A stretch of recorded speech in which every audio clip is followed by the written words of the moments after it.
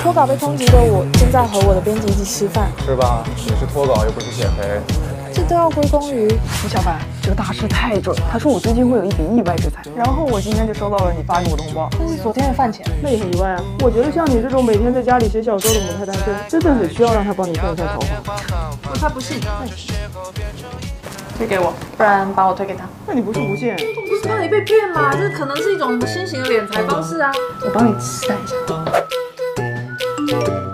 师头像还挺文艺的嘛。大师，我的编辑一直不通过我的稿子，怎么办？守得云开见月明。大师能不能直接一点啊？脱稿不接我电话，却在这里碰见，咱们也算有缘吧？稿子已经在在在写了。怎么不吃啊？谁能对着催稿的编辑坦然的吃饭啊？吴下帆，请成为我生活中的全部吧。你就像星星一样照耀着我的世界这。不是我小说台词吗？你写的台词啊，还真的蛮土的。其实喜欢呢，也不用这么直白的表示。漂亮吧？你一个人待着是不会有灵感的。他干嘛一直看我？你不太热吗？你不喜欢吗？喜欢啊，但有更喜欢的。记下来啊，这是素材。假如在这个场景，男主的心情不是特别好，要怎么安慰他？不要太差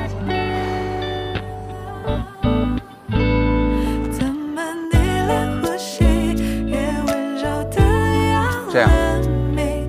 如果这样就好不在就这样，在编辑的带领实践之下，我新写的稿子终于过了。太好了，那下次写不出来还可以找你。我的稿子终于过了，大师，你能帮我看一下我和我编辑的情感走向吗？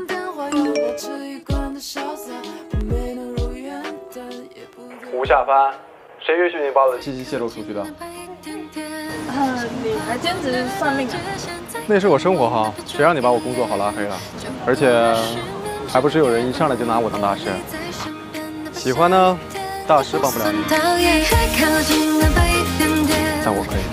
大师，你能帮我看一下我和我编辑的情感走向吗？这次不是素材，是认真的，要不要试试看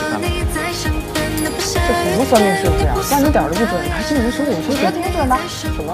我都还没把你推给师傅呢。是谁？我的大新男朋友。